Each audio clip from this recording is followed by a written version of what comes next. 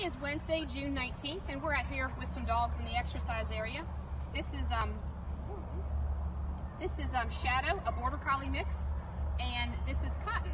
And we kind of wondered why they named Cotton Cotton because he's brown, but he's got a really super soft uh, shepherd, thick shepherd coat.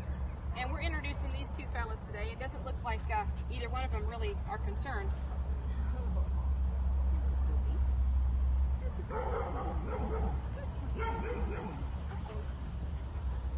You wanted you wanted to meet Cotton? You want to meet Cotton?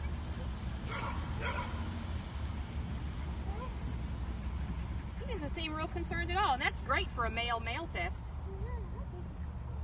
There you go. That's very polite. Very polite. Okay, let's try to walk them together. Can we start a new one, Kim?